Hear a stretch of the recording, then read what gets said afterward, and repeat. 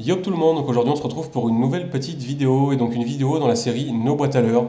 Je vous avais déjà fait une petite vidéo pour vous présenter ma boîte à Street Fishing Tweet, donc pour tous ceux qui ne l'auraient pas vu, je vous mettrai le lien de cette vidéo dans la description juste en dessous de la vidéo. Et donc là, bah, je pense que voilà, vous l'avez remarqué, aujourd'hui je vais vous parler euh, de ma boîte à crankbait, enfin d'une partie de cette boîte, parce que c'est une boîte double face. Là c'est la face où il n'y a que des crankbaits, vous le savez, j'en ai énormément. Là, ils n'y sont pas tous, c'est à peu près ceux que je me sers le plus souvent. Dans cette boîte, je ne vais pas non plus tous vous les présenter, sinon j'en aurais vraiment pour trop de temps. Je vais vraiment vous parler bah, juste voilà, des essentiels pour moi, ceux que je me sers vraiment très souvent. Euh, je vous montrerai donc les leurs devant la GoPro et ensuite le nom du modèle exact s'affichera en haut à droite. Et de toute manière, tous les liens euh, d'écran que je vais vous présenter seront dans la description sous la vidéo qui vous renverront directement vers les sites marchands si vous voulez les acheter. Donc on va commencer bah, avec un petit crank qui ne plonge vraiment pas. Donc ça c'est pour aller juste sous la surface. Et donc c'est un crank de chez Ilex. C'est le Cherry Zero Footer. Donc c'est un crank qui vaut, si je dis pas de bêtises, une petite quinzaine d'euros. Les prix j'en suis pas vraiment sûr. Voilà, de toute manière vous aurez tous les liens. Et donc la particularité, vous le voyez, il a une bavette euh, extrêmement petite et complètement quasiment droite. Donc en fait c'est un crank qui va nager canne haute euh, comme un stickbait, c'est-à-dire à la surface. Donc il va vraiment faire les, les mêmes droites-gauche qu'un stickbait et faire le même sillage. Et si vous mettez canne basse, il va nager à peu près 10 cm sous la surface. Donc c'est vraiment très pratique, très pratique quand vous avez peu de fond ou quand vous avez des herbiers qui remontent juste en dessous de la surface, par exemple à 20-30 cm. Donc voilà, c'est vraiment très pratique si vous voulez bah, débusquer des carnassiers avec du crankbait dans des zones où il y a très peu de fond. Donc voilà, c'était le Ilex Cherry Zero Footer. Le coloris d'ailleurs, c'est le coloris Ablette, si je dis pas de bêtises, donc un très joli coloris gris-bleu, voilà, qui, qui va très bien avec les poissons blancs qu'on trouve généralement dans nos lacs. Ensuite, on va enchaîner. Alors celui-là, celui-là, je, m'en sers plus des masses, mais voilà, enfin, c'est Dead, je pense, euh, me confirmerait peut-être. Je crois que c'est le premier crankbait quasiment que j'ai acheté. Euh, donc c'est le Rapala Clacking Crank 53. Euh, donc le système Clacking, en fait, c'est l'espèce de petit piston que vous avez au milieu ici. Donc dedans, en fait, vous avez une bille, et donc c'est ça qui va faire la sonorité du leurre. Donc c'est pour ça, en fait, voilà, c'est la, famille des Clacking chez Rapala. Donc c'est un crank qui vaut une petite dizaine d'euros, en plus c'est pas très cher, là c'est du Rapala. Euh, ça nage super bien. Les coloris, bon là, le coloris est un peu, un peu fatigué, hein. il a pris énormément de poissons ce leurre. Les coloris, moi je les trouve vraiment juste magnifiques. Là, vous le voyez, vous le voyez c'est un coloris perche. Celui-là nage à peu près, je crois, à 80 cm sous la surface et ça prend énormément de poissons. Voilà, moi clairement, j'ai fait euh, énormément de fiches avec ce leurre. Donc voilà, s'il y a un crank pas trop cher euh, que je peux vous recommander, c'est vraiment celui-là, le Rapala Clakin. Voilà, les coloris sont vraiment très jolis. Je crois qu'il y a 7 ou 8 coloris à peu près disponibles. ça nage super bien, ça se lance bien. Euh, voilà, clairement, rien à dire là-dessus. Voilà, c'est vraiment un indispensable pour moi. Ensuite, on va passer toujours à un crank qui va euh, peu profond. Donc c'est pareil, c'est un crank de chez Maria. Donc là, le modèle, alors c'est marqué dessus, alors chez Maria, ils ont été intelligents. Hein. Voilà, voilà le nom du modèle, c'est le MC1SS52F. Hein, ils ne pouvaient pas faire plus simple. Donc Maria, c'est une marque qui est vraiment pas connue. Si je dis pas de bêtises, je crois que c'est une marque japonaise. J'en suis vraiment pas sûr. Et le gros avantage, tout simplement, c'est le prix. C'est des cranks que vous allez trouver entre 7 et 10 euros et qui clairement euh, valent beaucoup de l'heure, qui, euh, bah, qui valent tout simplement beaucoup plus cher. On s'en est pas mal servi sur le cheven, sur la perche.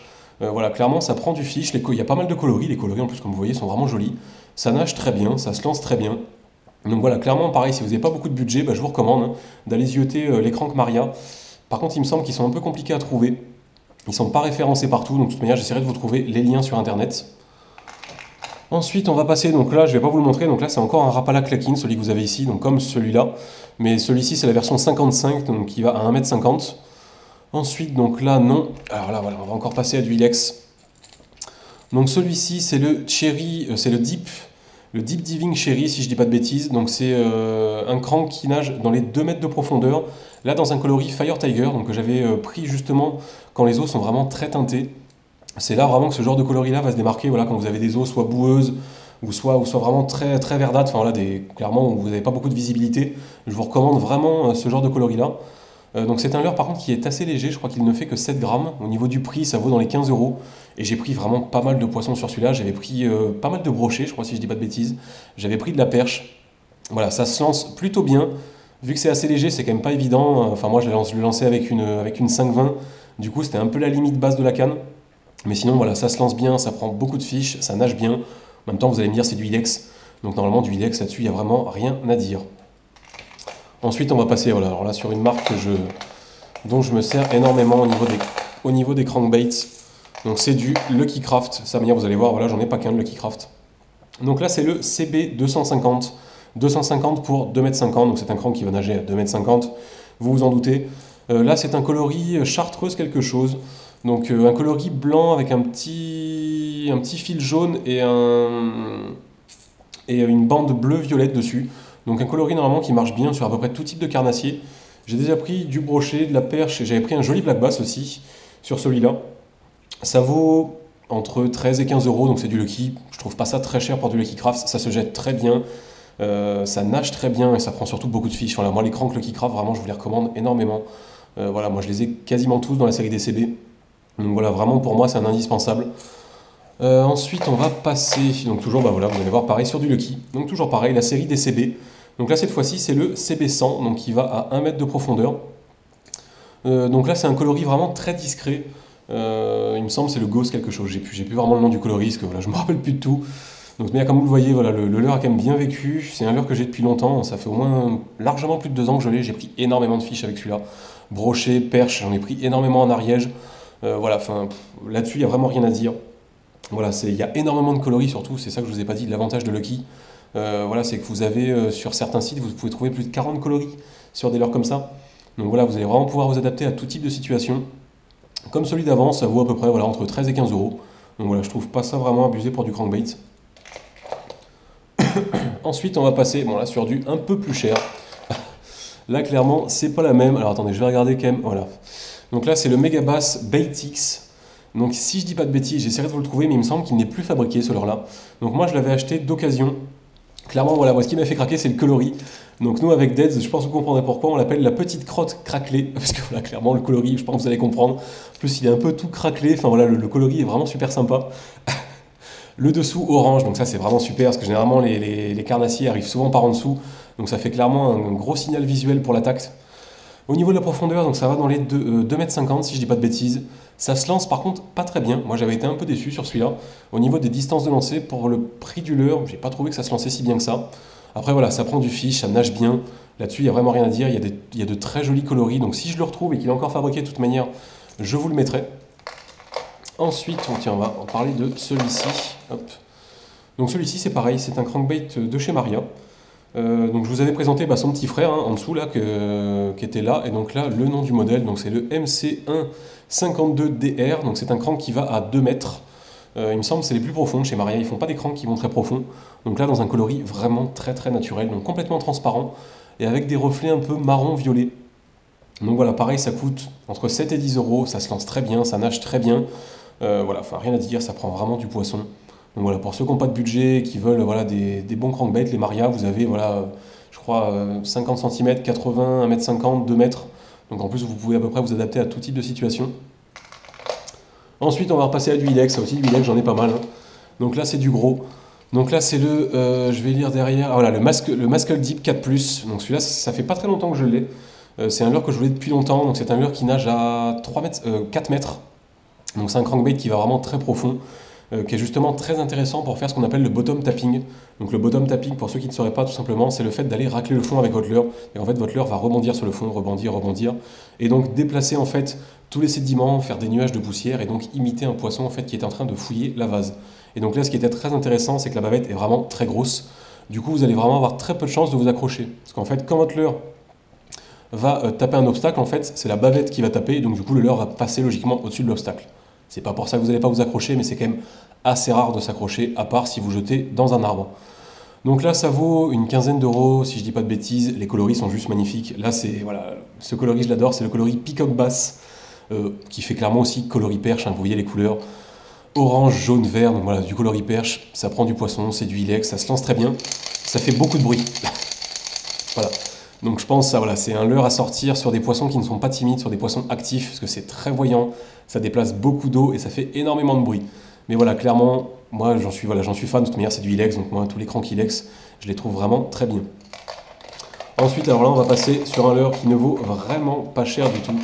Vous allez me dire, mais qu'est-ce qu'il fait avec ça? Donc là c'est un leurre de chez Volcan, d'ailleurs vous allez voir, le leurre, les tripes sont complètement éclatées. Parce que voilà, j'ai fait, tout et n'importe quoi avec ce leurre. Donc c'est un leurre de chez Volcan, il me semble que c'est le Fighting Dog, enfin je vous mettrai le, modèle parce que j'en suis vraiment plus sûr. Ça vaut 5 ou 6 euros, si je dis pas de bêtises. Celui-ci va à 2,50 m. Euh, le coloris, voilà, vous voyez, c'est un coloris perche classique, L'avantage, c'est que le coloris est teinté dans la masse, donc vous voyez le coloris est quasiment intact. hein. Le coloris, tout simplement, n'a quasiment aucun éclat, par vite fait en dessous. Euh, ça vaut rien, ça se lance pas très bien, c'est vrai. Mais j'ai pris vraiment pas mal de poissons avec. Euh, Enfin voilà, j'ai au moins pris une vingtaine ou une trentaine de fiches avec, alors que je le sors pas très souvent. Enfin voilà, en fait, c'est un peu mon crank suicidaire. Il y a qu'en fait, quand il y a des endroits où, voilà, où j'ai peur de perdre un crank, ou voilà, où quand je connais pas, bah, je sors ce crank-là. Et puis bah, la preuve, c'est que je l'ai jamais perdu, alors que ça fait pareil plus de deux ans que je l'ai. Et je me suis accroché dans tous les sens. Enfin, voilà, j'ai toujours réussi à le récupérer. Donc on va dire qu'il me porte un peu bonheur, mais voilà, franchement, pareil, si vous avez un petit budget, ça se lance correctement, ça nage bien, ça prend du fiche. Les coloris, moi je les trouve vraiment sympas, voilà, c'est un coloris perche. En plus, ils sont très costauds. Donc voilà, si vous cherchez un petit crank pas cher, bah, je vous le conseille. En plus, il me semble qu'ils en font plusieurs, des comme ça, donc euh, je crois qu'ils font 1 mètre, 1 mètre 50, 2 mètres, 2 mètres 50. Je vous mettrai de toute manière pareil les liens. Ensuite, on va passer ici. Donc là, c'est pareil, c'est encore du Megabass. Alors attendez, que j'arrive à voir le nom, parce que je me rappelle jamais. Ah bah voilà, c'est les les Megabass Cyclone. Vous allez le voir, ils ont une tête assez particulière. Euh, clairement, ils ont des ouïes un peu partout. Euh, voilà, c'est clairement du Megabass. hein. Voilà, là, il y a même un passage pour, euh, pour l'eau derrière, là, juste ici. Juste ici, je pense que vous allez le voir. Ils ont aussi euh, les fameux, les fameux triples avec les ardillons extérieurs. Je sais pas si vous allez voir. Ça, c'est une, une- spécificité de Megabass. En fait, les ardillons sont à l'extérieur. Je sais pas si c'est mieux ou pas mieux. Je pense pour du Megabass qu'il y a- quand même un petit avantage. Le coloris est juste magnifique. Voilà, sa manière, c'est du Megabass. Les, voilà, les, leurs sont juste magnifiques. Ça vaut cher. Ça vaut, je crois, une trentaine d'euros les cyclones. En même temps, c'est du Megabass. hein. Euh, ça se lance bien, ça nage bien, ça prend du fiche. Après, voilà, c'est clairement très cher. Donc voilà, moi, c'est parce que voilà, j'adore vraiment les cranks, je m'en sers énormément. Du coup, je m'étais fait plaisir. Euh, de toute je crois que je l'avais acheté d'occasion, celui-là. Donc voilà, c'est après, c'est à vous de voir. Si vraiment vous aimez ce style de pêche, les Megabass, je vous les recommande. Ensuite, euh, bah tiens, bon, on va continuer. hein. Mais la, la fin de la boîte euh, est un peu chère sur la droite là. Donc là c'est pareil, c'est du Megabass. Donc là c'est le Deepix 150. Euh, pourquoi 150 d'ailleurs Parce que je crois que c'est un crank qui va à 3 mètres si je dis pas de bêtises. Donc je sais, enfin j'en suis même quasiment sûr, je crois qu'il va à 3 mètres ou 3 mètres 50 celui-ci. Pareil, voilà, le coloris est juste magnifique. Euh, voilà, c'est en plus c'est un coloris que j'ai pas vraiment. Donc un coloris avec du marron violet, un peu de jaune, voilà, enfin un super coloris, toujours pareil, les ardillons extérieurs. Ça se lance très bien, ça va très vite à sa profondeur de nage, le crank descend quasiment la verticale. Ça, je l'avais vu faire, c'est vrai que ça, par contre, ça descend vraiment très vite, donc c'est très pratique quand vous faites des lancers assez courts. Au moins, le crank va directement nager à sa profondeur de nage. Il me semble, voilà, ça fait pas mal de bruit. Il y a juste une grosse bille, donc une sonorité euh, assez, euh, assez basse, voilà, enfin surtout des basses fréquences. Voilà, c'est du méga basse, ça prend du fiche, je crois que ça vaut dans les 25 euros. Voilà, comme celui d'avant, c'est à vous de savoir voilà, si vous avez les sous pour ça. Ensuite, euh, tiens, je vais quand même vous en parler de celui-là parce que c'est vrai que bon, ça paye pas de mine, mais bon. Donc là, c'est un crank de chez Rapala. Je n'ai pas le nom exact parce que je ne me rappelle tout simplement plus. Donc bien sûr, c'est pas marqué chez eux. Ah, bon, je vous mettrai le, nom de toute manière au-dessus. Donc un crank qui va à 3,50 m ou 4 mètres, qui ne vaut pas cher du tout. Je crois qu'il vaut, on le trouve à 6, 7, 8 euros. Euh, ça se lance plutôt bien. Euh, le défaut de celui-là, en fait, c'est qu'il tire énormément sur la canne. Euh, la bavette n'est pas très étudiée, donc faut, si vous avez une canne très rigide, je vous le conseille pas. Mais sinon, voilà, j'ai déjà pris quand même pas mal de fiches avec. Deads avait le même, avait pris aussi, euh, il avait pris de la belle perche, je crois, avec d'ailleurs dessus. Voilà, ça se lance bien, ça nage bien, ça prend de tout. Donc voilà, clairement, pareil, si vous n'avez pas trop de sous, je vous le recommande. Alors, on va passer, je pense, voilà, pour tous ceux qui nous suivent depuis longtemps, la star. Celui-là, c'est, ça vaut cher, clairement, mais c'est le crankbait que je vous recommande le plus. Donc c'est le Zipbait B-Switcher 4.0, donc un crankbait qui va à 4 mètres et surtout qui est silencieux. Donc là c'est les tripes que vous allez entendre, mais sinon il n'y a aucune bille dedans, enfin je vais essayer de vous le tenir. Il ne fait absolument aucun bruit, donc ça c'est son très gros avantage. Parce que vous le savez, les poissons des fois ils en ont peut-être un petit peu marre justement d'entendre tout le temps des billes, des billes, des billes. Donc c'est clairement un gros avantage de se diversifier là-dessus. Il se lance extrêmement bien, c'est l'un des leurs que je jette le plus loin. Euh, clairement. Alors pourtant il a une grosse bavette, mais voilà, le, système de transfert de mage de ces jigbaits est juste magnifique. Ça part à une distance de ouf. Ça rejoint très vite sa profondeur de nage. Et ça prend énormément de fiches. Là, en plus, ce coloris-là, c'est le coloris écrevisse. Voilà, je ne sais pas si vous allez voir tous les détails, mais ce coloris-là est juste magnifique. Je crois qu'il existe une quinzaine de coloris. Il existe en le B-Switcher en 1.0, 2.0 et 4.0. Ça vaut dans les 25 euros, mais clairement, voilà, si vous aimez ce genre de pêche, achetez les Zipbait B-Switcher. Je vous le répète tout le temps, mais là, voilà, c'est vraiment mon, c'est voilà, mon gros coup de cœur depuis 2-3 ans. Je m'en sers quasiment tout le temps et j'ai pris de tout avec. Enfin, j'ai pris énormément de fiches. On va passer, allez, on arrive sur les deux derniers que je vais vous présenter. Donc là, c'est un que j'ai rentré récemment, mais voilà, c'est. comment vous dire Donc c'est le Realis Crankbait de chez Duo, c'est le M6511A. Pareil, au niveau du modèle, ils auraient pu faire un peu plus simple. Je vous le montre, voilà, ce crank est juste magnifique déjà. Voilà, rien que la tête du leurre, les duos, vous le savez, voilà, ils sont, ils sont, voilà, c'est cette tête qu'ils ont, c'est juste énorme. Ça se lance très bien, presque aussi bien que le zipbait, pas tout à fait. Il y a une petite différence, ça part un peu moins bien. Ça va, celui-là, il va à 3 mètres.